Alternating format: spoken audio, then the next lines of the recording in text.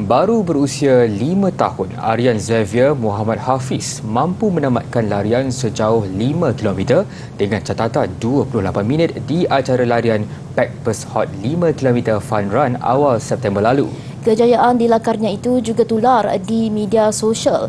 Potret inspirasi ada ceritanya.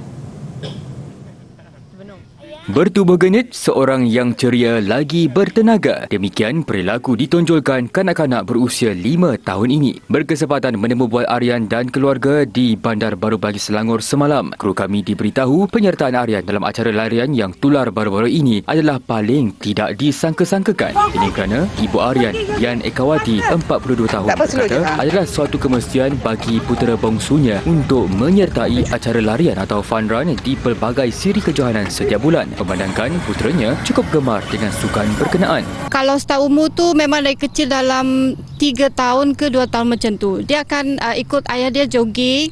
Lepas tu kalau masuk dalam run-run ni mungkin 4 tahun tu dah start dah start ikut uh, abang dia tapi dia akan uh, uh, ayah dia akan duduk uh, tepi lah maksudnya ikut dia lari macam tu lah. Menyedari potensi ditonjolkan Aryan, penyertaan Aryan sentiasa disokong dan bukannya paksaan. Lebih-lebih lagi, apa saja yang disertai abang dan papanya, pasti Aryan juga nekat untuk menyertai sama, termasuklah penglibatan dalam sukan badminton. Uh, sebetulnya dia suka suka. Dekat rumah pun dia tak boleh duduk diam.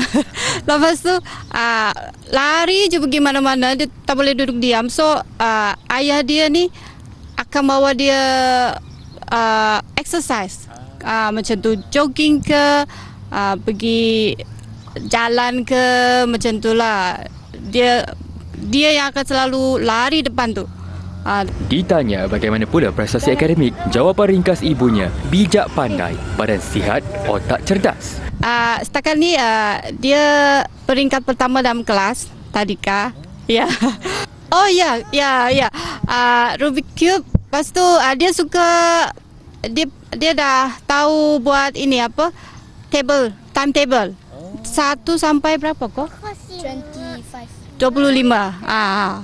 Berkat kesungguhannya, baru-baru ini Aryan menduduki tempat kedua daripada 200 kanak-kanak yang bertanding dalam acara Melaka International Marathon 2024 untuk kategori kanak-kanak iaitu larian sejauh 2.5 km Ogos lalu. Semoga pakat ditonjolkan ah. Aryan akan terus mekar sekaligus mewarnai pembangunan sukan negara.